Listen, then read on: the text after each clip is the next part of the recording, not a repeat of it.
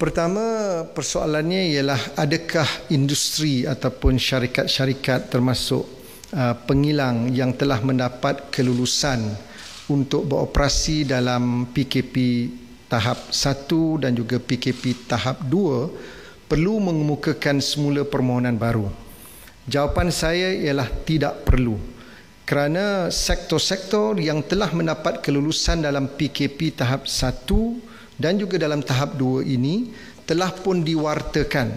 Sebagai contoh dalam lampiran A dan B uh, pada peringkat awal itu telah diwartakan pada 18 Mac 2020 manakala ada dua lagi warta kerajaan yang telah dibuat pada 31 Mac 2020 dan pada 2 April 2020. Ini bermakna semua industri dan syarikat yang telah pun mendapat kelulusan untuk beroperasi dalam tahap 1 dan tahap 2 boleh meneruskan uh, operasi mereka dalam tahap yang ketiga ini kerana kesemuanya telah pun diwartakan oleh kerajaan pada tarikh-tarikh yang saya nyatakan sebentar tadi.